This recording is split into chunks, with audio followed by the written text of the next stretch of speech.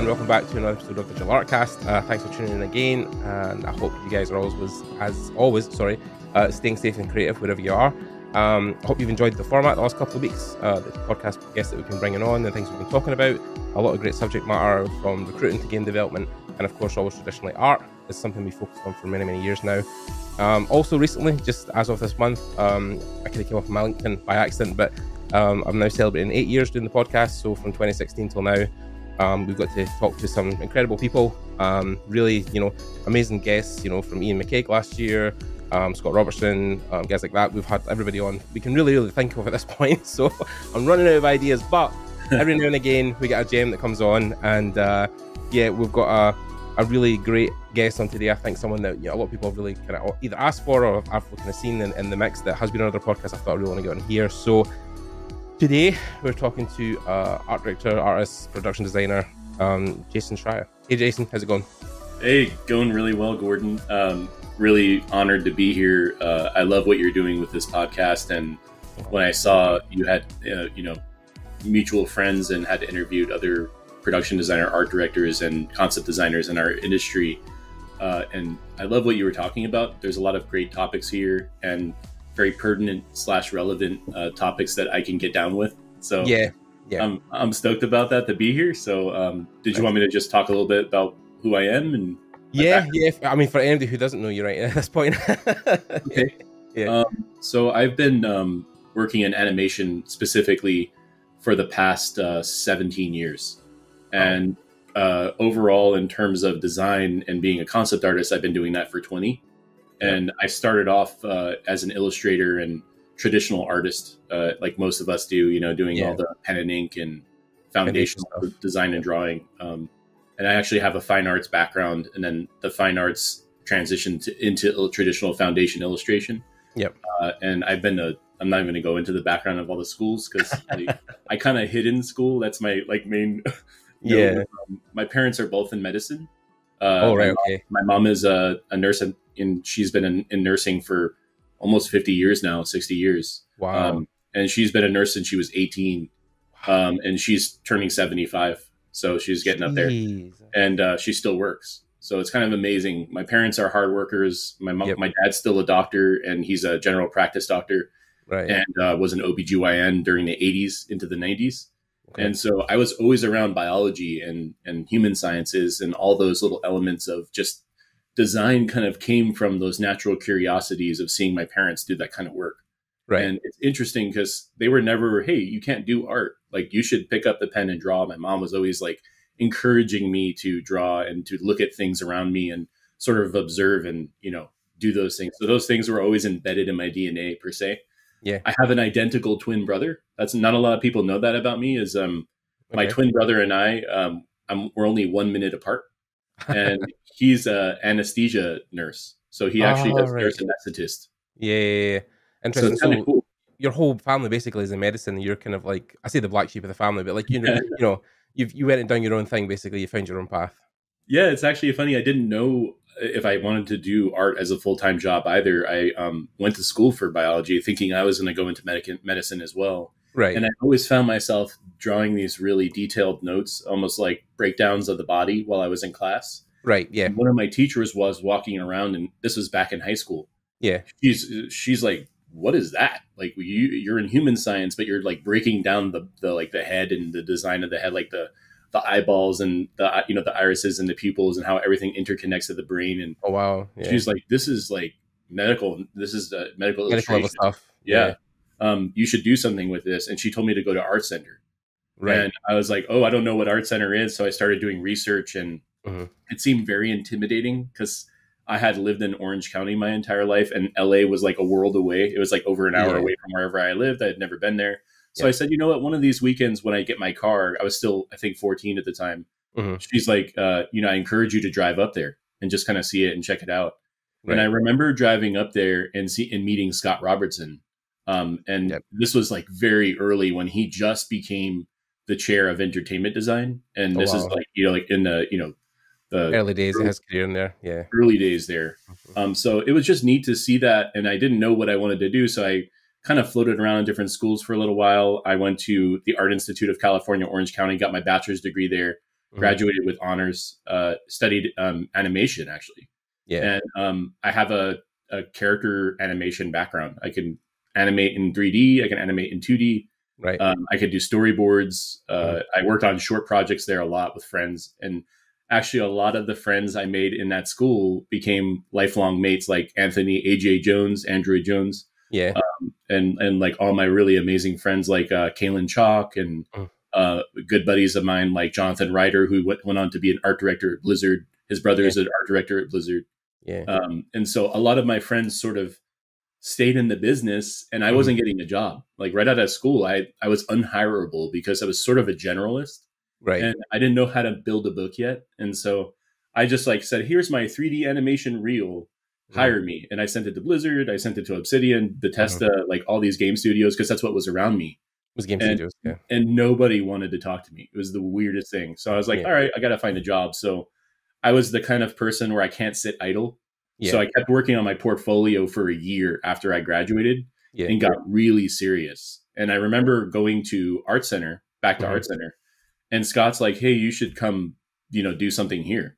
So I actually started taking night classes there mm-hmm. and studying at Art Center. And that was the best thing I ever did because my foundation all kind of came back. Right. And I got really serious about concept art. Mm-hmm. And I had a teacher back at the Art Institute named Carlo Arellano. And Carlo was sort of the guy who really set me in motion, like put my comet into orbit. Mm-hmm. And he was like, hey, dude, like you should be doing art and design for film or art and design for games. Yeah. And he was just so strong at like conceptual character design and like mm-hmm. object design and environment design. And he had a very well rounded background. And that person was the sort of instrumental in getting me to go and be, you know, more serious about what I was doing. And I never looked back. I worked in games for a little while. I got hired by a friend uh, that felt bad for me. He's like, hey, dude. I'm like sitting here at this like re- I was at a consulting ser- uh, service trying to like refinance homes. That's what I was doing Right. And I got this call and he's like, hey, man, they got this junior concept artist position. Mm-hmm. It's at Shiny Entertainment. We're about to merge with the collective and we're going to make our own thing. Hey, you want to come over and do some games with us? And we're doing movie games. And I got hired under a lead artist named Sean O'Daniels, who's an amazing artist. He's a great illustrator. And yep. we shared an office together and he was wonderful. He was like very open with me and sort of shared all of his knowledge and techniques and whatnot. And I was like, crap, this is awesome. Like I'm learning how to like do concept art for games here. And mm-hmm. I worked on um, the Justice League video game. I worked on, uh, oh. they had, I think they just finished Golden Compass. Right. They did the Matrix there. They did Earthworm Jim there, which is actually really cool. Under all favorite characters. Yeah. Yeah. Like yeah. all these amazing games. And um, there was just such, the collective, those guys were like the serious group that's right. merged with the shiny guys. Yeah. And the shiny guys were like, hey, they like animation, they like quirky stuff. Mm-hmm. And it was like the best environment to be in. I was only there for like six months, but right. it was the best six months of my life because I was such a sponge. I was it's soaking up all this like great info from both sides, and it was just yep. like this perfect amalgamation and alchemy mm-hmm. happening in, under that same roof. Yep. And then, uh, have you ever heard of SIGGRAPH before?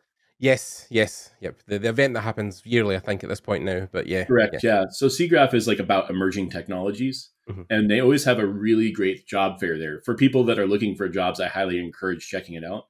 Yeah. Because all the major studios come there, and when they go to SIGGRAPH, they're looking to hire people. They're, it's it's not like a normal convention because they know that like us, the nerds, are going to be there, right? And they yeah, have like a serious, you know, affirmation to get a job in a specific field. Yep, yep. So I brought my book with me I had this like physical portfolio and I gave it to DreamWorks Animation mm-hmm. because I've always wanted to work there. I saw Prince of Egypt and oh, I saw okay. like these beautiful background paintings that were done traditionally in 2D. And I said, that's what I want to do.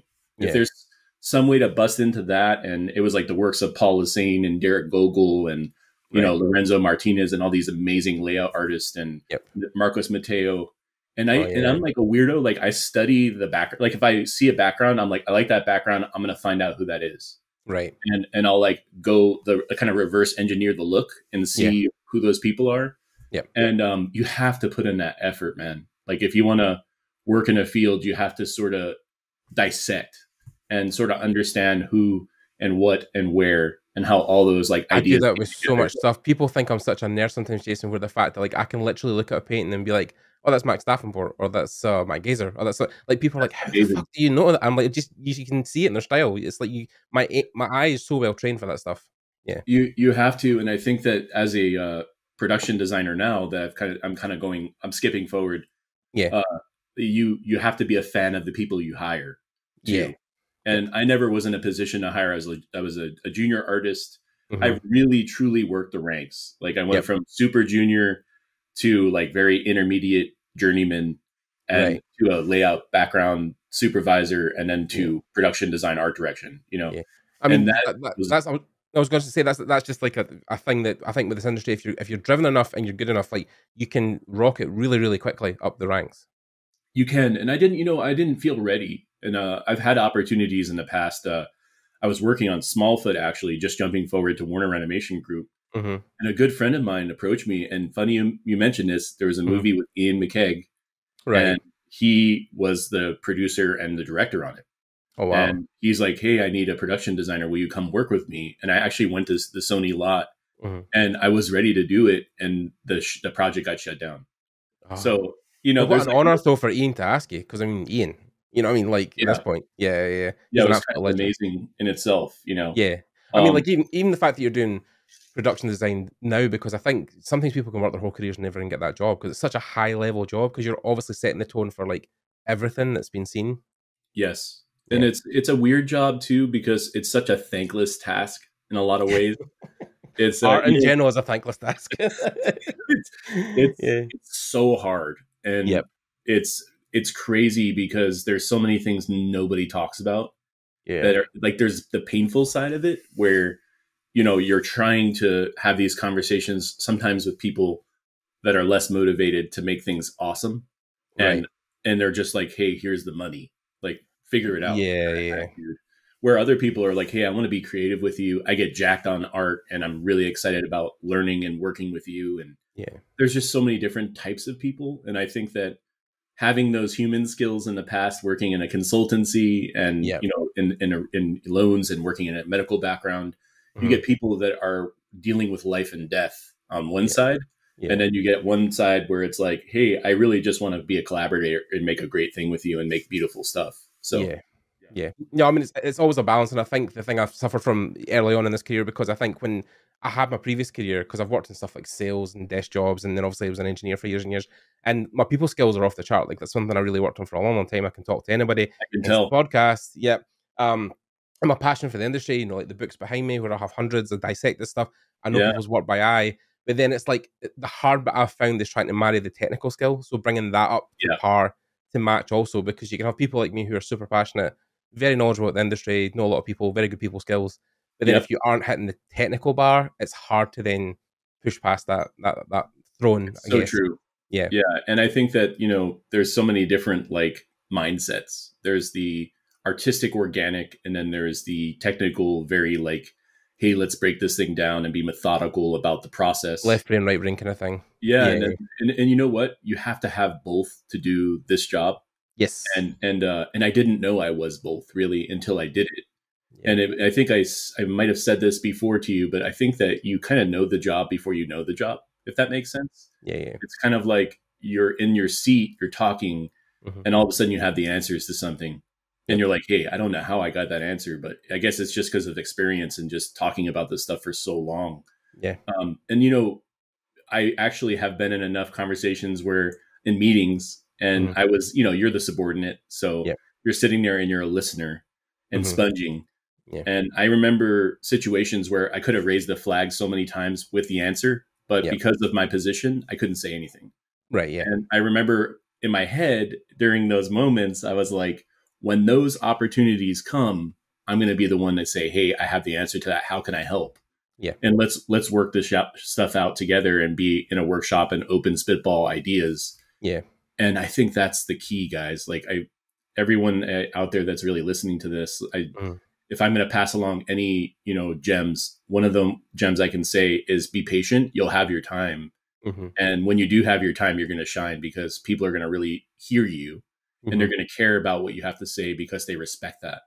And Yeah. I think it's all about that investing the time, you know, putting the time away and and just knowing when when to say stuff too. I think yeah, uh, there's a patience level for that too. Like you can't jump ahead or behind. You got to let people finish. read the room. Yeah. Read the room. Yeah. Yeah, yeah. I mean, it's like it's, probably I'm in a unique position as well, where the studio I'm in just right now, there's only like five or six people. So like as an indie dev, like you get that more experience of being able to like have a voice heard because there's only like five of you in a meeting, right? So that it's not like you're dealing with departments and managers and loads of people, right? Um, but like, yeah, that's that's a good thing I think to always think is that when you get in those situations, it's trying to remember to take in as much as you can because sometimes maybe even the thing where you think you have the answer, but then someone might bring up something even better because you're listening, you're like, oh god, that was even better. Like I hadn't even thought of that. So like, yeah, and then the years of experience and then building up to it. So yeah, yeah, yeah, you're absolutely right, and it's it's kind of cool. It's like a surprise to yourself. Sometimes you're like, oh, yeah, shit. like oh shit, I never thought of that. Yeah, it's really good. yeah, I mean, like you've done so many years of the animation, like in films that you know some stuff you never saw the light of day and things you worked on that never got published, but like. I mean, yeah. now you're doing like the big budget stuff, and obviously, like the fact that like you know you were doing all the stuff on the side as well. They got you noticed by Netflix to do like Samurai. I mean, that was a whole conversation yeah. in itself. But I mean, the idea of like the way the industry was back then, do you feel it was kind of the same as it is now, or do you feel like the, the skill level has went way past what you felt was initially really what people were looking for like 10 years ago? That's such a great question. Um, uh, I'll slow down and answer that one because mm-hmm. it's it's jumped. I think every year animation has grown and yep. it and if you really look at it in like sort of a, a technical numbers format, um, it makes up almost eighty percent of the space of entertainment. Okay. And yeah.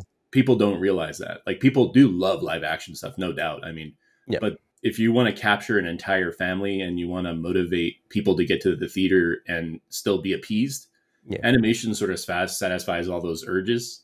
Mm-hmm. Um, Japan, for example, has been making adult animation for years. Well, I mean, exactly. Yeah, I mean, like, yeah, yeah. I mean, like, even beyond that, like a lot of the the anime stuff that I grew up on, like um, Ninja Scroll and you know all the Production I.G stuff. Like, I grew up on I grew up on that stuff. Like, I had a friend that worked at a blockbuster video, and uh, he used to let me borrow like all the like Japanese animes. I watched all of them Oh, Gundam as well, stuff like that. Oh yeah, know? Gundam, yeah, Voltron, yeah. like all that yeah, stuff. And even um, Transformers was a Japanese IP before it became Transformers. Yep.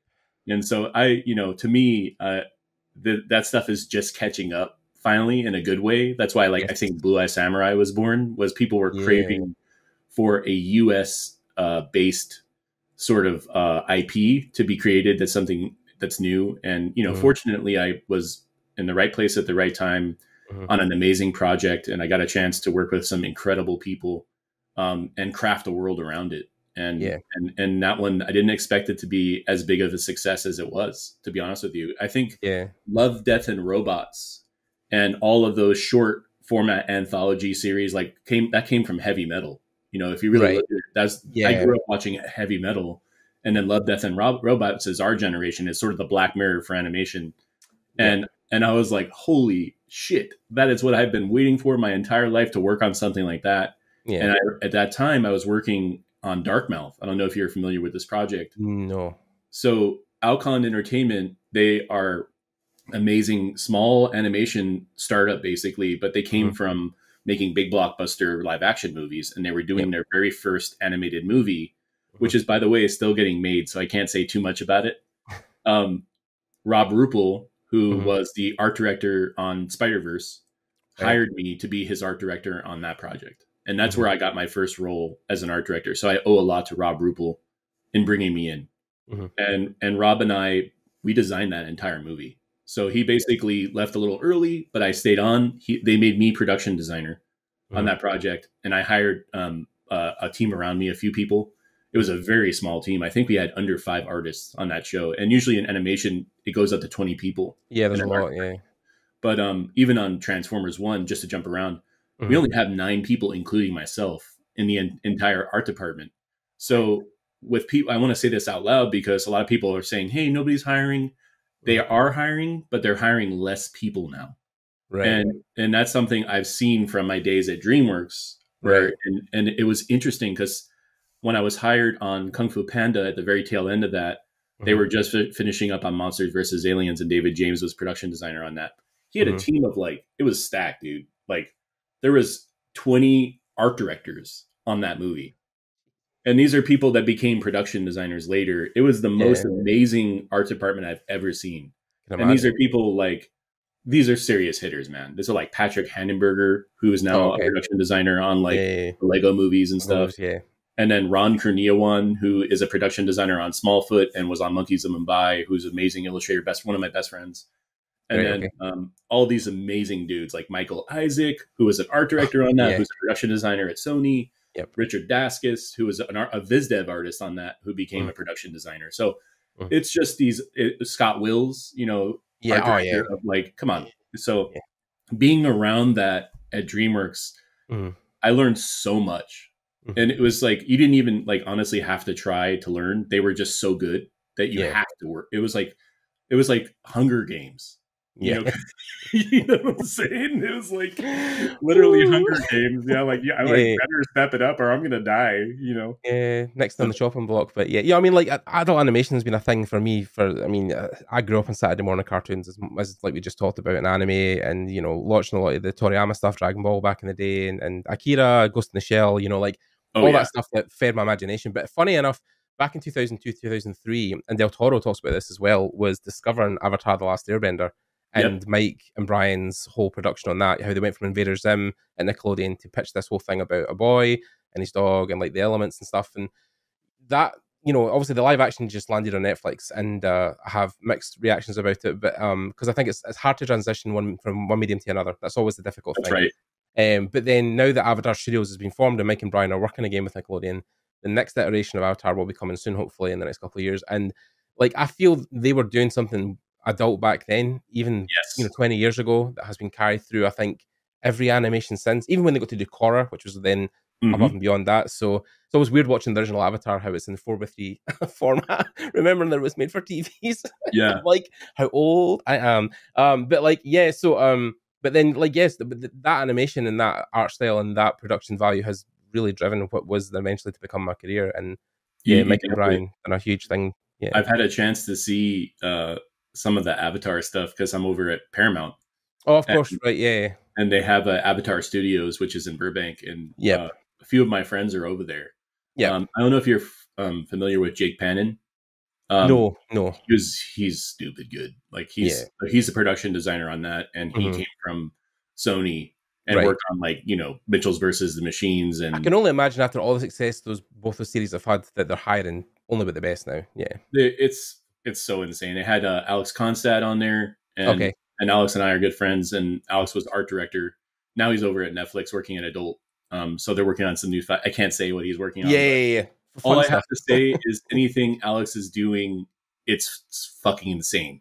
Like it's yeah. always insane. Um, yeah, I'm, I'm buddies with Ralph Gazzetti, and uh, he's okay. also now he's over at Netflix now as well. So like, okay. yeah, the, Netflix is starting to just pinch people from every side of the, the industry. Like they're just yeah, they've got the budget right, they've got the money, so it's like yeah, they do, and you know they they're taking risks, and in a way they kind of hurt us too. Like I I can say mm-hmm. this because I work there, and I saw I was there during the gold rush. We call it right. Okay.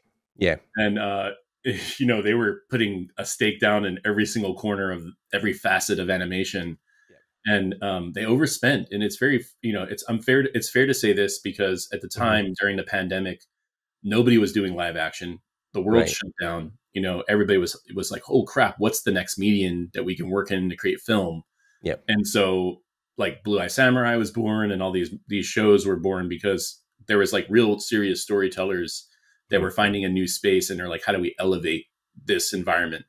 And so, you know, they were thinking of things more optically and, you know, like, mm-hmm. hey, we're doing this through a real lens, we're doing real staging, we're doing real lighting. It's um and it's different because I didn't think that way. I always thought animation was actually this is my opinion, but yeah. I always thought animation's w- way more crafted than live action. Yes. Because you, nothing is for free. Yeah. Everything in the design world, every bucket, every stool, every bar stop, yeah. Yeah, it's yeah. it's down to the bolt and the nut on the table. And I always say yeah. this, and I want to remind people that this is real cinema. Like it mm. is not a genre at all. And yeah. I love that Guillermo del Toro said that when he was mm. working on Pinocchio. He's like, animation is cinema. And yeah. now it's becoming, you know, there's still this weird thing that happens even at the Academy when they're talking about the Oscars and stuff. They're like, oh, hey, here's that little kid section of our yeah. And it's yeah. like, no, no, no. Like we're doing, ser- we've been doing serious stuff for a very long time, yep. and I think it deserves a lot more respect. And yeah. um, I've worked in, I've worked in live action, I worked in theme park design and VR space, and mm-hmm. I still have more fun in animation than any other medium. At the same dude, yeah. I mean, like one of these things, like we, we talked, we talked about this with my, my partner. We were talking about because we're, we're metalheads, so we're into metal. But the fact that the Grammys only have one genre for metal and one award kind of like category, whereas like R and B and then mostly country pop and rock yeah. all have like five or six categories within different things. So like even with the Oscars, it's like yeah, animation is almost just one singular thing. And even the the movies that were up this year, I mean, Boy and the Heron, I've not seen it yet, but I've obviously been told it's really great. Stunning. But the other films that were in that category, I was like, you know, that every one of these should probably should have won some type of award.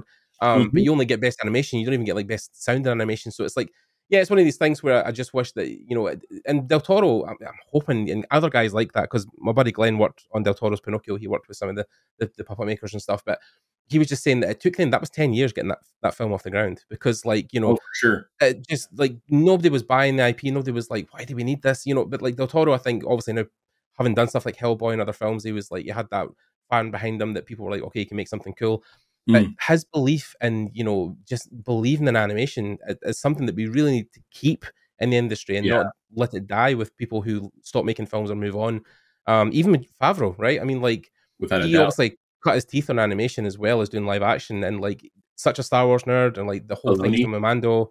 Yeah. But then even if you look at like Dave Filoni, who was Matt Gazer, he was one of the guys who worked with Matt.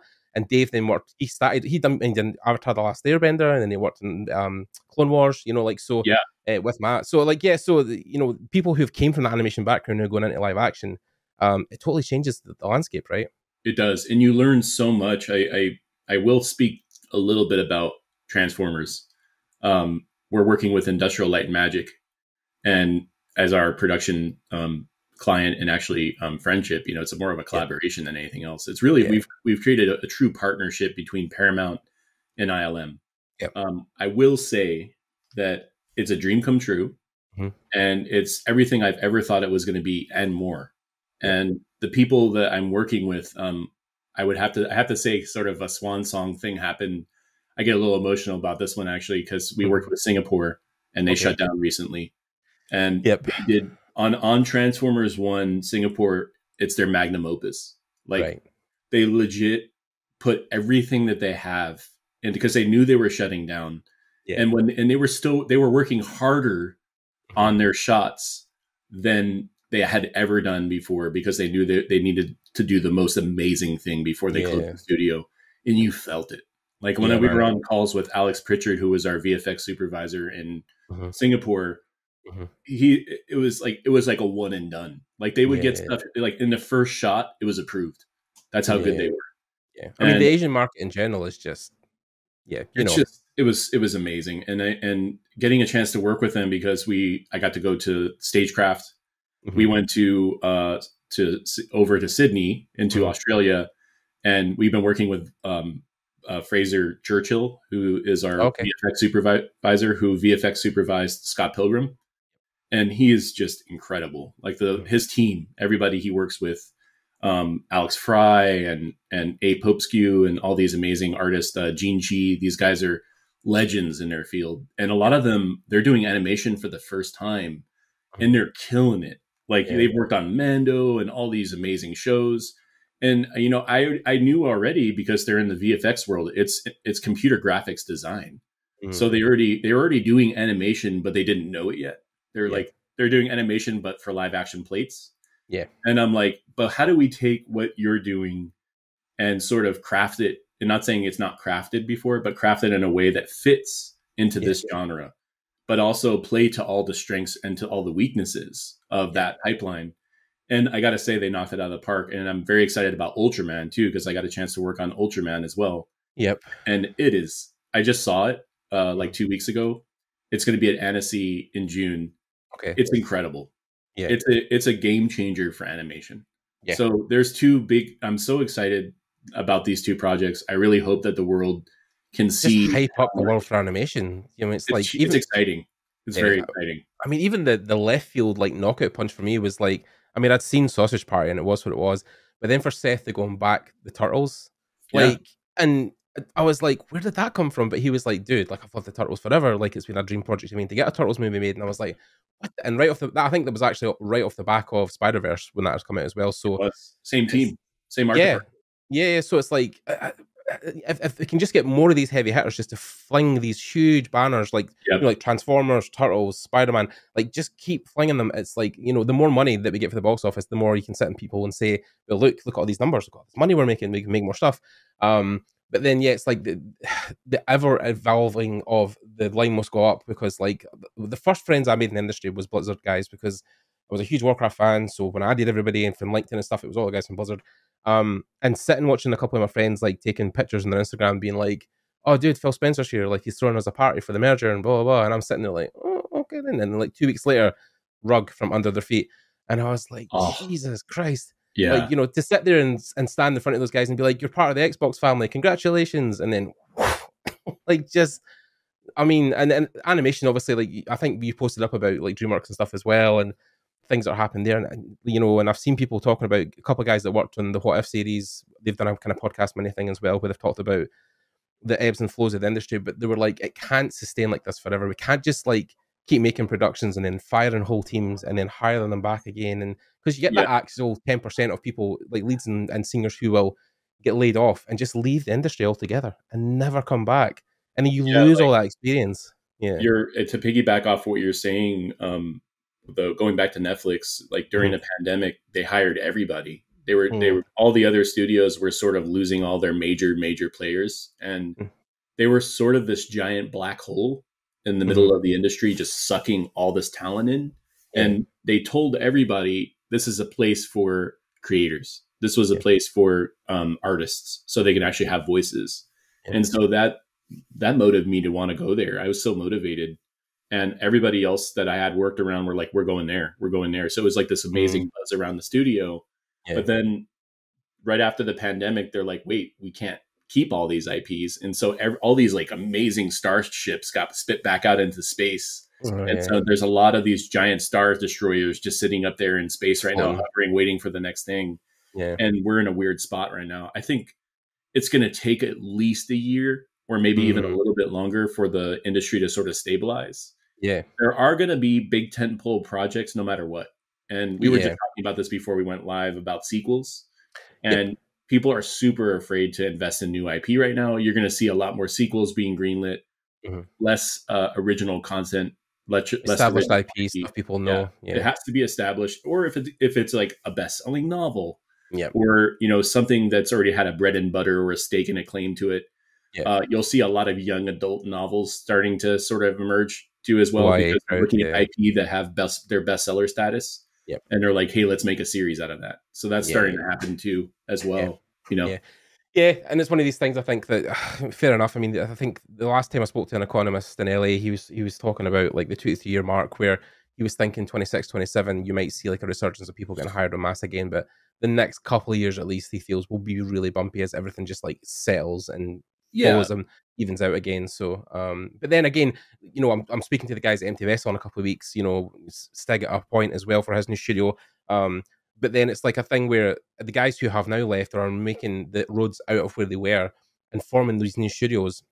I'm hoping they're going to be built off the back of we don't want to repeat of where we were. We want to make something new, take those lessons that we learned and try and make a more um, less toxic, more invi- inviting environment and, and a, a place people can kind of grow old in because like you know the, the, industry i came from an engineer and like you could have probably had that job from when you started at 16 or 18 till you died you know like you were you were there you worked like your like your mother you know like working in a job for 40 50 years.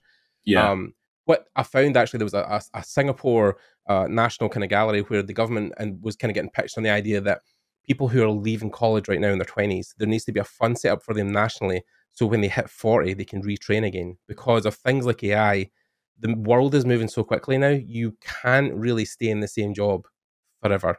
You know what I mean? It's really yeah. short lived. And I feel that's the thing with animation. It's always been is that you're jumping from one pole to the next. You know what I mean? It's true. Yeah. I and going into the AI factor, I feel like all the major studios and uh, not so much Paramount, they're not talking about it at all. Actually, they're against it. Um, yeah. They're I'm talking about Netflix. I'm talking about some of these studios, um, I'm starting to hear whispers of them using that as a tool. Oh, I've seen a couple of news people talking about it already. They're hiring people for Viz Dev, like pre oh, yeah. production stuff. Yeah, yeah. And it's a it's a bummer. I don't I don't like how much they're pushing that as an agenda. Uh, it, it's it's on my Instagram now. Like it's like use Meta, like you search with Meta AI, and yeah. you know going on linkedin and you see everything's ai based and yeah. i'm a little bummed out man because mm. i don't think we need it I, I think that it's a innovate it's emerging technology mm-hmm. that has become a forerunner now and mm-hmm. yes it does make amazing sora makes great results but yeah. it is to in my opinion it lacks soul it's it's, it's soulless um it lost it loses its grit you know yeah. it, it just becomes this smooth perfectly calculated you know and i know you can obviously prompt things to be a certain way but i don't care like i'm not going to jump on that bandwagon Art's not supposed to be perfect it. No yeah and the, the, the your soul are the things that make things beautiful i mean yeah yeah, yeah I've, I mean, I've talked to um, Mache about it a little bit and you know i there's parts of it i do understand why people get it and use it yeah mm-hmm. there's parts of it where i find like oh hey this could be something potentially unique. Yeah. But the, my problem with it is the unethical part of it and how it's scraping oh, yeah. images from us. And yeah, yeah, I mean, the scary thing about Facebook and Instagram is they've been collecting our images for years. Yep. And they have this huge, huge archive of our faces and all of the places we've been to and all the food we've eaten. Photos of our kids, photos of our relatives, our children. Yeah, just yeah. our pets. It's it's ridiculous and it's really yeah. unethical and mm-hmm. I'm having a huge problem with that. And I think that um, it makes it's made me want to almost like get off of social media a few times. Yeah, my brother is not on social media. No, I can imagine why. Like, yeah, fuck social media. Like I do not yep. want to be a part of it. If yep. people want to reach me, they can give me a call. They know my number. Dude, the amount of work I've got since I've switched social media off, like, I mean, I, am I'm, I'm just like so stereotypical through my. I'm learning this now. Like, I'm, I'm turning forty next year, right? So, but then I've learned this all through my thirties. Is that I was sucked into that machine for so long and really uh, chasing every clout and every, you know, arguing with people, you know, during the Black Lives Matter when I was arguing with people about that movement and everything and trying to get the podcast set up around that and people, you know, giving me shit and arguing people online. It got to a point where I was just like so sick of it. And I had this conversation really early on with Cory Loftis and Cory was talking about, you know, when AI really struck, he was like, "What the fuck is going?" Because at the time, I was also part of a movement with Karla Ortiz and Steven Zapata, and they were going to like the government with all this stuff. And Cory was like, "What the fuck is happening?" And I'm like, "Dude, like, here's all the information I know. Go have a wee look, see what." You... But he just was like, overnight. He was like, "I can't fucking believe this! Like, every single thing I've ever drawn for Disney, and it's just on there, and people are prompting it, and they're prompting my they're prompting my name and my style, and yeah. it's just oh, it, it, it physically makes me nearly want to cry and give shivers up my back when." The people who are my heroes, who have grown up making this stuff, are now in a position where they're afraid for not only their safety but also their career. And it's like a thing of the shift that is happening in the world it's just something that we've never had to deal with. I mean, like if you look at my generation as millennials, you know, we've had to deal with nearly three global recessions, a pandemic, and possibly now a war. So it's like it's such a crazy time right now. We talk about art and making and production, but like it's hard to then create when the world around you is like so toxic because you're using most of your energy just to survive, right? Which is crazy. Yeah. Yeah. yeah, I can I can speak to that too. It's um important to use that energy that's around you for the positive. and yep. I know it's so easy. There has to be a balance, right? There has to be a way to take that toxicity and negativity and turn it into a positivity. Mm-hmm. And it's a conscious effort and and work to do that. Yeah. Um, and this is something I say to students all the time. I, am working with a, a, lot of high schoolers um, at Sisler Create, which is a school that's in Canada, oh, yeah. Winnipeg. And um, I get on with them, you know, monthly, and we talk about their project. And we talk about mental health all the time. That's something that not a lot of people talk about. And yeah. We're very aware of it. And, you know, the socio dynamic economic climate that we're in right now and physiologically we're all getting taxed by that. And I think that as a evolutionary thing, as we are human beings in this world, we have to be more understanding of what's really going on and cognitive of those surroundings. Mm-hmm. And I think that um, you know, for, for you and I talking about this is really important stay positive, stay hungry, still still be passionate about what you do and love what you do every single yeah. day. Make an effort to do it because it's too easy to be um, destroyed by all this negativity around you. Yeah, that's AI what feeds the machine. Part of that, I feel like yeah. it's a huge factor. You know.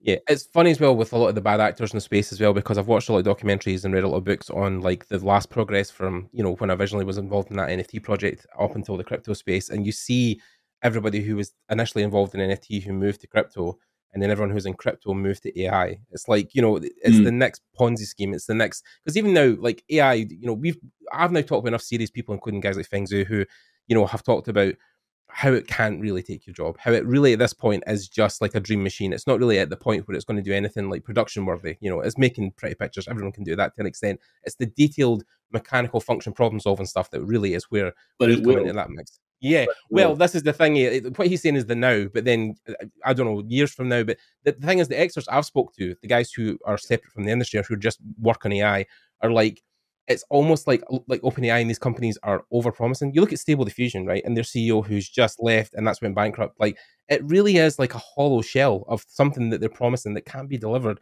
And the guys I know who are talking about like the singularity and the conscious AI, they're like that's like 60 years away. Like we're nowhere near that. Like it can make you a schedule or like a dietary plan on OpenAI, but it can't do anything worthy of work um, yeah. for a long time. So, yeah, it, it can and it can't. I think it's um like we were talking about tools. Um, mm-hmm. you know, if you want to do a singular object and right. you want to craft a world around a singular object, or hey, you want to get something for a pitch, this is yeah. where we get hurt because yeah. you know this is the this is the place that you need to be cognizant of is mm-hmm. These a lot of directors don't want to hire artists. It's easier yeah. for them to have like a bunch of prompts that they write down for sequences that they're going to be pitching for a movie go into Midjourney, go into Stable Diffusion, whatever you know mm-hmm. background they're using, yeah. um, and then run that prompt, and then have something as a visual to talk to the studios about instead of actually hiring an artist to do it. Yeah. And I'm seeing that happen. I've I've had people that are directors, mm. and I'm not going to name names, pitch AI to me, yeah. and I'm like, oh, this is happening way too often now. Yeah, and yeah, I'm like, I don't want to do art for you because mm. I automatically know that you're going down that pigeonhole and I'm not going to jump, jump in that hole with you. You know, it's just to me, it's uh, it's kind of divisive, and it's a little bit, um, it's like shooting our, ourselves in the foot. And I don't want to shoot myself in the foot. I want to stay in my mm-hmm. lane, still craft things from my imagination, look at all these amazing books that you know you and I have, and do that research, and then use those images and ideas and, and inject them back into our work. Yeah. And I may be a little bit of a dinosaur and come to the game late if it mm-hmm. does end up going that direction, but I might be the last person to hold out. Yeah, but you'll still have your fucking soul intact. You'll still have your morals. Your compass will not be unchanged. You know, you'll still have some kind of like level of pride. Like, I'm not saying people who use it are soulless. Like, I mean, whatever. Like, no. if you're experimenting with it, okay, cool, right? You know, but yeah. like, I think it's just the integrity of always being like, you know, integrity. Yes. Yeah. Like the, the thing I've always chose to do has always been the more difficult path. But like, look, if I wanted to stay in my job and earn whatever I earned back in the day and, and work in a job where it was soulless and I can collect my paycheck and go home and play video games, sure, I could have done that for the rest of my life. But I wanted to change and be better and do something interesting with my life. And so I think it's one of these things where you have the choice in front of you, like, you know, and I think as long as people at your level, like you and Cory and other people and Raf and stuff, are, are turning around and saying to people, we don't want to use that, we don't, you know, then the studios get to a point because I mean, I spoke to Renee the other day, who's a, a solo game developer, but she's worked for other big AAAs, and she was saying the thing with AI is that like especially for game production, if you say to someone like, "Here's twenty million dollars to make a game," right? Yeah. And you're saying with AI you can save ten million dollars. The studio will then be like, "Cool, we'll spend the other ten million doing even better features." And you know, like the same when we had the conversations about Naughty Dog recently with Neil and stuff, how he was saying that you know they're trying to eliminate the crunch, the crunch culture by you know planning stuff a bit better out. But then if you plan stuff and everything runs on time, then you're like, "Oh, great, we've got an extra five hours. We can just make extra stuff." Like you never stop. You're not as an artist, as a production team, you're never worried too much about the budget. You have to stay in budget, obviously, but like the more money you have, you're always going to use that to just make something better. Because at the end of the day, that's what you want to do is make the best thing you possibly can. That's true. Yeah, it's a it's about the final outcome, and it's about being you know part of a team. Yeah. And uh, at the end of the day, I just want to work with cool people, and I want to mm-hmm. be around projects that are inspirational. Yeah. And and that's a really hard thing to find now because there's yeah. just so few and far between and fortunately, on many of the projects I've worked on, I've been blessed in that sense where people want to make something different that makes a wave that stands out and is mm-hmm. unique. And uh, Transformers was my chance to sort of create my own visual look on a movie. Right. Yeah. And uh, working with Josh Cooley is a dream come true because he just trusts his team. Mm-hmm. He's working with he puts the best people around him in a place where they could be their best, mm-hmm. and he is a sponge as well. And he's learning from us. And is truly invested in that process of seeing, hey, people evolve into the best that they could possibly be. And you get great ideas that way. You're in a room with someone and there's an open format. People share, people, you know, give. And sometimes you just go, hey, I don't have an ego. I'm just here to get the best possible result on the screen. And all of us are doing that. And I think we can yeah. feel that every day when we're working on the movie, you know? Yeah. I think also as we band together as a people as well as like a, a collective art form, you know, like the actors did when they, they had the strikes last year. It's a thing of like the studios may hold some element of power, but then at the end of the day, we are the people that work for them and make the things they oh, want. Oh, yeah. So like yeah, we really have to. And again, it's why I think after the mass layoffs, we're now talking about unionization and try to get that all involved. I mean, animation's had unions for a long, long time, so yep. um, the games are still fresh out of the gate, so they're still figuring a lot of that stuff out. But I think the more we collect together, I think the safer we'll be. I think it's a you know unionizing is so important. It's it's it's a very old you know tradition to be in part of a union. Um, mm-hmm. It goes back to you know the early twenties, but I, I think thinking about this in terms of animation Mm-hmm. Uh, 839 is is our union local 800 839. Mm-hmm. Uh, we have to. We're gonna we're going into negotiations very soon, and the studios are going to need to speak up about what their mm-hmm. stance is on you know AI and all the things we were discussing. Uh, there's going to be some serious topics happening here very soon in June, in July, um, and we may go striking. You know, and that's yeah. one of those things where, hey, what do we do? What do we, you know, what is the next step here for our business? And yeah. I think that it needs to happen. If it needs to happen, it needs to happen. Um, it's going to hurt the economy, of course. Yep. Uh, and it's one of those things where it's either you do it now or you wait 10 years from now and you do it again later, but yep. you got to do it at some point. And it could be at the worst time, but it's better to do it while you're scraping the bottom than to do it at the very, very top. Yeah, it's one of these things where you're kind of fighting for the soul of the industry. I mean, I know recently mm-hmm. there's been articles about OpenAI are starting to pitch to Hollywood and they're starting to pitch to studios and talk about what's achievable. I know they've also really been in bed right now with Nvidia. Recently, there was an article came about about how they were really doing stuff with them as well. And yeah, it's, it's one of these things where you know I get where people come to have the argument of like the cat's out of the bag and there's nothing we can do to stop it. But I think like most regulation, especially now in the EU, we have a lot of regulation. So a couple of things have happened recently. So we've got the New York Times lawsuit that's still ongoing. Um, we also have the European Union have just passed an EU law for AI, so it now means that companies have to within the European Union disclose where their information, where their data sets come from, because then can it be trained as ethical and unethical. Also talking about Ultraman, where you worked on it.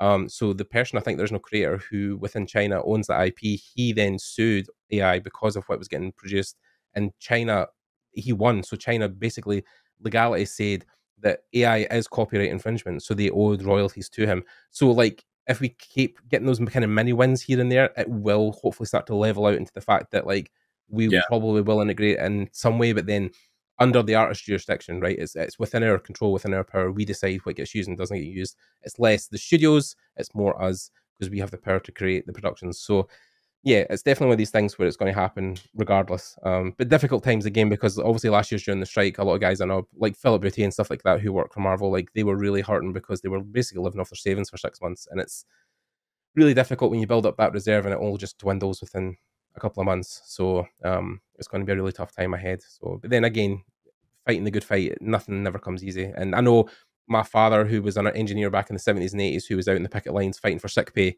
you know, like that was a thing we didn't even have back then, you know, just to be off sick and still get paid for your work and maternity leave, you know, working hour weeks where we only work 40 hours a week. Like a lot of that stuff all came from the European Union, but also because we stood out in the cold and fought for it. So yeah, it's just a thing we all think at one point have to go through in our industry to, to correct because we can't keep giving in to the billion and trillionaires and guys like Bob Iger who just have infinite money and don't really give a shit and cut down trees so people can stand under the shade. yeah. I mean, hey, look, it's it's really just growing pains. Yeah. And, and you know, it's uh, history repeats itself. And you look yep. at all the great wars that are fought, they're fought for damn good reason, you know, yep. and this is a different type of war.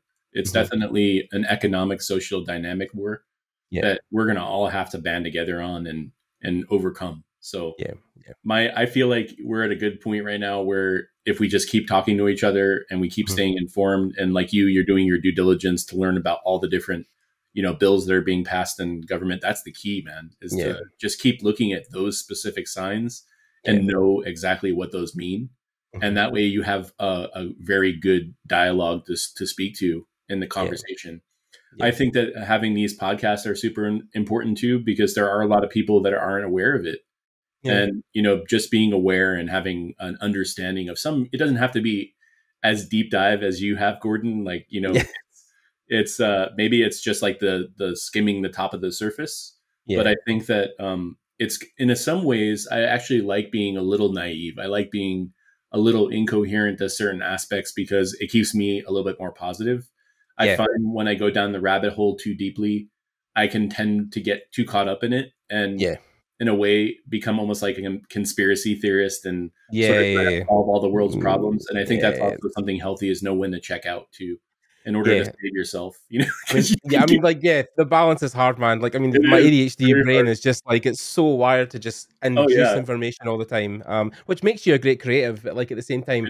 I think I need to focus on another thing because I, I watched a talk the other day with uh, Lady Gaga, funny enough, but she was talking about how, well, as a creative, if you're not creating constantly and you're kind of sitting in your own space, all it does is make your head just go further and further and further and further down the dark rabbit hole, like Yes. you said. And you think of the worst case scenarios, you think of the world and what's going to happen with this, that, and the other thing. You need to unleash that energy you have swirling You in your do. brain into something positive. Um, You- you- with it, it- it's it's called head swell, right? yeah, You know, yep, it's like a it's a weird thing where your mind starts to sort of bloat and get oversized on one side or you know lopsided and yeah, you know the the healthy exercise is to write you know to write that stuff down or go Yep. for like an go for a walk and sort of talk about it with friends and have a dance, community. sing, make Yeah. something, yeah, yeah, yeah. i love i love having community that's one thing i'll highly encourage any of the listeners is find people that are like-minded and Mhm. flock together and discuss these things have topics to discuss and i have people i regularly call on a weekly basis and have these kind of conversations with and it's Mhm. just super healthy you know it just it makes you uh realize like that we're all in the same boat together we're all sort of floating in the same ocean yeah, yeah. and uh, I look at our industry. I always say this to friends: like we're kind of puddle skipping, and Yeah. it's like, what does that mean? You look for the wettest puddle, and you jump from one puddle to the next in this industry in order to keep jobs and stay afloat. And not all jobs pay the same. Not all of the people that you work with are going to be cool. But yeah. if you have something for the time being and it keeps you well, and you can Mhm. still have your community, uh, Yeah. that's the key. It really is. I mean, and also like the whole like I mean, it's like an echo chamber of from my first episode to this episode, where we're like we're hundred deep. Um, personal Yeah. projects is something that like every single person for nearly eight years has talked about. You know, nearly ten years. You know, it's like you know, uh, speaking to Ian Ian McCaig, you know, like the, the fact that he is now writing and producing short stories and books. You know, like there's always something in the background. Like Ian talks about Star Wars, you know, vividly of like, oh, it was a great time. I really enjoyed my time there, but he then is always so focused on like what he's doing, like what you know, Yeah. he works for contract, he works for these studios, but then like what is he doing as a person? What's his legacy he's going to leave behind? And uh, I think like a lot of that has been outreach stuff where like either it's with THU or schoolism, like he's getting Yeah. into the minds of like students. He likes you know meeting people, young people especially, and trying to inform them about like what the industry's really like and how we get through it and stay positive. Because Ian, you know, Yeah. he's just like he, he was born without that part of his brain that makes him sad. Like it's just, Yeah, just like, it's just infectious to be ray around. of sunshine. So Yeah. um, but yeah, so it's one of these things, personal projects. But then like you know, for you, you what you were doing built into a project that get built from personal into work. Yeah. You know, and Blue Eye Samurai, I think was like you know, I, I think you've talked about this with, with obviously, but like. What was the origin of those paintings? Was it just something that you were doing to decompress from work? What you were doing at the time? No, um, so when I was in college, funny enough, you mentioned this. I've I've always I'm obsessed, as you've seen, I've seen with uh, my personal work with samurais, and I have a Right. story I wrote. It was mostly an outline, Yeah. and um, I met a friend named Tim Kaluk and Mm-hmm. uh, Jonathan Ryder, and I said, "Hey, would you guys like to work on this story with me?" And I read Mm-hmm. it to them. I showed them all my visuals I was crafting still in college, and Mm-hmm. they're like, "Yeah, dude, let's make this thing." And so in the background, while we were in school, while we are in our personal lives and in our careers, we kept working on it. And, and both of them got really busy. So I was the only one that sort of kept going on it. Right. But it was my idea, it my brain trust to sort of come up with the story. And all these visuals that you've been seeing in my work, my personal work, are Mhm. just me testing the style. right. And so I was like, hey, how do I keep the style evolving? And so it started off like very concept arty. Mhm. And then after a while, I was like, hey, I like going more graphic with this. I like woodcut. I like Yeah. woodblock. And I was looking at um, Yoshida and I was looking at a lot of like manga stuff, like um, even uh, and all the like the the most important stuff to me is always the stuff where I feel like I'm it's speaking to me. Yeah. And I I wasn't looking at any uh, animation stuff. I was looking at art, like real like background painting Mm. and stuff and Right. stuff that you were seeing in, in museums and saying, hey, how do I take the best of that and make something into a movie? Right. And so the idea for this project for it's called Yamamoto, that's the project I've been working on, is uh is a story about my brother and I. And it's the story about two people that basically I won't say anything specific because I I am pitching it. Yeah, working on Um, yeah. It's it's basically uh the story of two people that split apart and then come back together. That's Right, basically okay. it. and um, there's a reason why. You know, there's like a huge uh, rift that happens in between, mm-hmm. and it's like the typical protagonist antagonist hero's journey, you know, kind yeah. of thing. But the visuals have always been in my head. It's a crazy thing. I don't know if this happens to you, Gordy, but mm-hmm. I'm dreaming and I wake up and it's like almost like a fever dream where it's still in my mind, mm-hmm. and then I'll start painting it out. And I have this really strange uh, sort of like visual um, library in my head of yeah. different types of shapes and and mm-hmm. like textures, mm-hmm. and that's what all those paintings are. They're visual shapes and textures that I got to get out. You so literally just a little, little bit of like exercising the demons a bit. Yeah, you literally just the thing you just said. I just watched an interview with James Cameron when he talked oh. about because he's just put out a book and he's also doing an art show in Paris where he's showing off his work from like Alien and stuff all the way back like the paintings yeah. storyboards he done. Um, and he talks about the exact same thing how he will wake up from dreams and sit and draw and paint things he's just like seen in his vision. And that's I think that was some of the early stuff that came up for Alien. That's where he got a lot of those early xenomorph stuff involved. So like yeah, like I think it's a very if you're, I mean, lucid dreaming something I've seen George and a couple other painters I've met who are like the old school painters who used to do, who engage in lucid dreaming mostly because they felt their dreams were so vivid they wanted to capture them as much as they could. Um, you know, and, and George Harrison, I mean, he definitely done that painting where like with the moon's crashing into the earth, and that was always kind of really famous at the time. But like, yeah, it's, it's a thing of like, I think it's is it aphasia? You know the thing that people have where like if you tell them to picture an apple in their head, some people yeah. can't do that. Like they can't even think of a pit that's like a blank space. It's like they have to almost verbalize what they're thinking. But for me, I can almost create entire worlds, people talking, voices. Like my mm-hmm. brain sometimes works on that level, and I'm thinking also almost like, is that the level you have to be sometimes to be at the echelon you're at, where you're, you know, you have those like high level like thoughts and feelings within your dreams that you bring into reality. Um, it's it's, it's quite a deep question, obviously, but like I feel like if you're up subconsciously or unconsciously thinking of art within your mind yeah. how does that translate into real world stuff it's it's a hard dynamic to shift across because how do you paint what you see in your mind it's it's definitely true because there's um it's it's a it's sort of a savant thing that happens i i noticed this with my dad too because my dad mm. is really great at storytelling right and he loves sci-fi so i was always listening to him talk about you know his books that he's read like 2001 space odyssey and a lot of the stephen king novels and stuff but um yeah specifically uh, sitting in an environment. I remember these days of just sitting in my backyard looking at a tree mm-hmm. and just watching light move through the trees onto the like branches. Right. I, stories would just start popping into my head. Yeah. And it's a weird thing that happens to visual people where mm-hmm. they're they're sort of feeling, touching, it's visceral and it's this connection to their environment and to their craft mm-hmm. and creating. And you know, yeah. as an artist, if you it's it's a lifetime of discovery. You're yeah. you're you're fully invested in this. It's, it's, not a job. It's never been a job to me. It's about who i am. It's my it's literally in my dna identity yeah. You know and people love that and they see it and they want to work with people that have that kind of passion for what they do. Yeah. And you know there's the there's the greats of our of our lifetime like the james mm-hmm. camerons and mm-hmm. people that are creating these like magnum opus stories that they yeah. want to like craft into this something and it takes time to get there and you just got to be patient with yourself. Like I love what I really love about Denis Villeneuve is he's like starting to come into the limelight finally. Yeah, um, Dune was I, incredible. Yeah, I've, I've, been you know watching him since like way before Dune. Oh, since Sicario for me. Yeah, yeah, since Sicario, yes. Yeah. my favorite film actually is still Arrival, like mm. from him. And um, Shit, I like the visual Dune. language in that. Wow, yeah. It's stunning, and it and it's like simplified in a way, and the storytelling and the way it all ties together at the end he is exactly like in a way he's I've heard interviews with him and he talks about how he actually crafts shots from dreams too. And mm-hmm. I actually heard that there's a scene in um they went they stayed in the desert after the filming of Dune 1.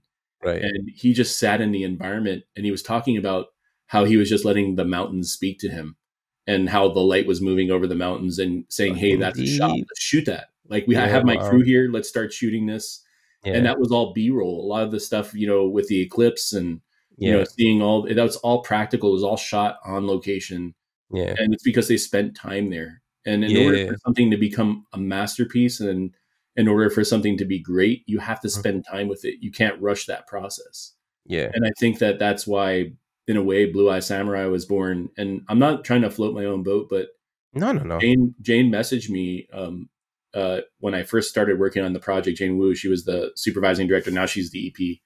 Um, and she's like, I got to be honest with you. I, with my pitch deck, it's all your work. And I mm-hmm. go, whoa, I didn't know. It's a, it was kind of flattering, but also kind of like, yeah. I didn't know that you were using my work to pitch this project to Whole the studio. Thing, yeah. So it was like kind of like a backhanded compliment. Yeah. But at the same time, I was like, okay, I can get down with that. Let's uh, hire a team around this. And mm-hmm. you know, Yun. I don't know if you know who Yun Ling is, but Yun. No. Yun was an artist on Spider Verse, and he works okay. very specifically with Alberto Mielgo. Um, okay. And he, he did a lot of the Love, Death, and Robots, The Witness, and yeah, no, Albert, yeah, yeah, yeah. and Jibaro and stuff like that. And um, yeah. and so Yun and I are old friends. We we we met on the Sijun forums back in the day when like Craig Mullins was doing speed paintings with Vile and all those guys. And back so you know that's I'm from that um, same thinking where I'm like, hey, let's all the people I love, I admire, mm-hmm. and I'm inspired by. I'm going to hire them one day. Mm-hmm. And that was the first project I got a chance to do that, where I was like, I'm going to grab everybody from every facet, even Naomi Baker, who went on to work at Marvel, Marvel mm-hmm. with Karla and stuff. Like mm-hmm. Naomi was like I was a fan. I was like, oh my god, her her drawings of characters have so much emotions to them. Yeah, she is she designed Mizu. Like the yeah, reason yeah, why yeah, Mizu is Mizu is fucking Naomi Baker and Wayne Johnson, who was a teacher at Art Center and an amazing illustrator. I was like, I gotta get him on this project to design characters. Mm-hmm. Like all Ringo, that's his character. Like Ringo was designed by Wayne, and Swordfather is is Wayne. Mm-hmm. And so I had all these these ideas in my head mm-hmm. of these characters and i but we had lots of conversations without the showrunners there mm-hmm. without the director there and talked about all these things mm-hmm. um, unfortunately i left the show because yeah. there was there was a, a lot of um, deferring personalities in it i won't mm-hmm. go into detail yeah. but it was it was the, I, I was tor- tormented by the thought of leaving mm-hmm. but i had to to preserve my sanity and it was yeah. during the worst time of my life and mm-hmm people in my family were really sick and it was mm during the pandemic. mm So I was like, this is the best thing I can do at this possible time. Yeah. But I'm so glad that people realize that it was my work. I'm, yeah, yeah. to me, that makes me super happy that even though they didn't give me the Annie Award, I was nominated, but I wasn't mm given the Annie Award for the show. I know that that's my Annie Award. You know, yeah, like I don't need to, you know, tell anybody that. They, everybody knows that. It's like one of those things where you could walk away from it and hold your head high and be like, that was a really good experience. I learned so much from it.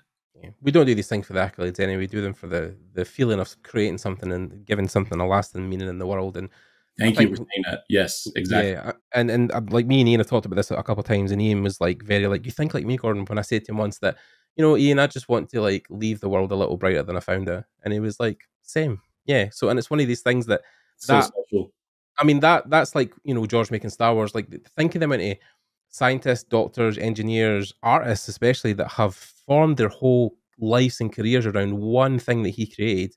You know, and people might look to your show because it's been so well received, obviously. You know, and look at it down the line as like the standard for how to make animated series in the future. You know I mean, and that's because of things you've done. The the, the the the giants that crafted the mountains. You know, as we talk about back in the day with old old Norse, but like yeah, that's the thing like that you can now think of and God damn it, if I don't want you to get involved in working on a Star Wars Visions short at one point, because I think it would be fucking incredible. Oh my god, that would be uh, so sick.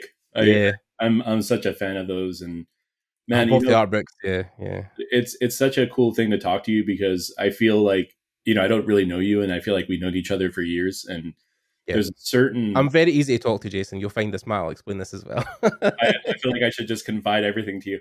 I yeah. I have this. uh this strong feeling that we're going to come back to it. We're going to have a, a, lot of rebirth in animation. There's mm-hmm. going to be another renaissance. Uh, I'm very excited about the future. I think uh, people are going to like have their minds bent once they see Ultraman and yep. and they see Transformers, and you know, not everything has to be Spider Verse. Yeah, you know? of course, and, and that's yeah. that's cool. Like I'm all about that. Anything, yeah, it's you can do good for us. New, yeah. new feel, a new texture, yep. a new dynamic for uh, do it because people want to see different stuff. Mm-hmm. And you know, at, at, first maybe people will be like, "That's ugly," mm-hmm. you know, and then uh, and then let it sit with them, let it resonate, yeah. and they'll be like, "Oh my god, that's actually super interesting." Oh, there's a lot, yeah. there's a lot of new stuff being told here. Mm-hmm. So have a you know a new perspective and a point of view. I think that's so important. I love that, yeah. Yeah, I think also it's one of these things that you talk about, like the ease of talk, but it's like a thing where I've now discovered I've been doing this long enough now, but like you know, you get caught up in the stuff about, oh, you know, what brush do you use, what pencil do you use, yeah. but the, thing that I think has evolved, and when I talked to Lorne Lanning about this, and he was, you know, really encompassing the things I was talking about, is that it's like I think I tried to get to the root of what makes people want to be artists and what is the human element in the room. You know, we talk about the human, the person behind the artwork, and I think that's more important sometimes than it is. You know, like, like here's the pencil to buy, here's the brush pack to buy. No, no, no. Like, what do you want to create? What speaks to you down in your soul when you look at the backyard, at the tree in your backyard? What does that encourage you to make in the world? Like, that's yeah. the stuff that I want students to take away from this. Is that because some people get caught up in like, uh, you know, they're you know bearing their soul to the industry and, and, and getting so burnt out in it. But it's like you really have to connect with you as a person, as an artist. You'll go work for people, sure, but you should always be creating for you. you the the yes. thing that comes back to the base is that you should be making the things you want to make. You take your jobs, you take your money, you do your job really well, you make connections and friendships, but then at the end of the day, you come back and you make things for yourself. That's the biggest That's. Takeaway you have to really have in this industry. So yeah, and you'll still want to do, and you'll learn on that process. Like Yamamoto for me mm-hmm. uh, was my training grounds. And in a, in a way, like I've done a lot of the same work that I was doing in professional setting before yeah. it was like a lot of it's like a lot of a similar story aesthetics a lot of similar thinking dynamics and everything was sort of there already and and yeah. sort of pre almost ordained or predestined mm-hmm. and i love that. I love when that kind of moment happens. It's like oh my god i've been here before. I yeah. kind of get this already and and you understand what to do. And i love what you just said about how you know you're giving people those same pe- you know that those pieces and those tidbits of yourself. Mm-hmm. And people can see that and they know that you love it. And if you see someone i'm a firm believer in this if you see a piece and you could tell someone had fun when they were creating it mm. whether it's a, a story moment or a character or an object that piece is so much more pleasing to look at you could you could sit there and stare at it for hours and study it because you're like look that person there was so much fun in that and it could have been created in a few minutes it could have been created over a course of a couple days or months or years but it's something people will marvel over forever you know? Yeah.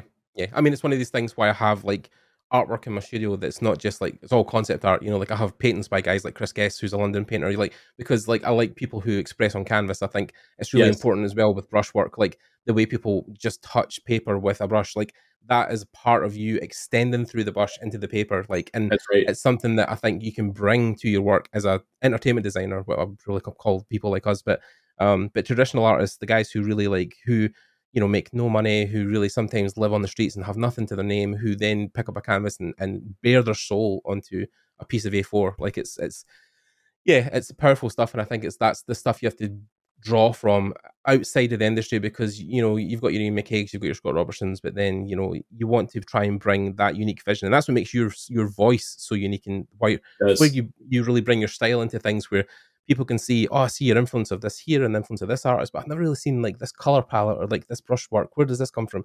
Like, and then you can dive deeper into, well, this painter, this artist, this charcoal guy that I know, you know, like those are the things that then when you produce stuff at like portfolio reviews, people will be like, holy shit. And if they've never seen it before, they'll instantly jump in it and be like, I need to hire this guy, I need to hire this now. Look at it, look at this stuff. It's incredible. You know, so that's the more important thing is like, bringing your voice to the table versus like because I mean like Feng just took portfolio reviews at IMAG in Paris, and every single one was little person, big building, little person, big building, and he was like, "Where is the storytelling? Where is the mechanics of what you're doing? Like, where is your voice in your work? Like, what you know?" Because ArtStation for so long was just a copy paste thing for many many years. People making yeah. the same stuff over and over again.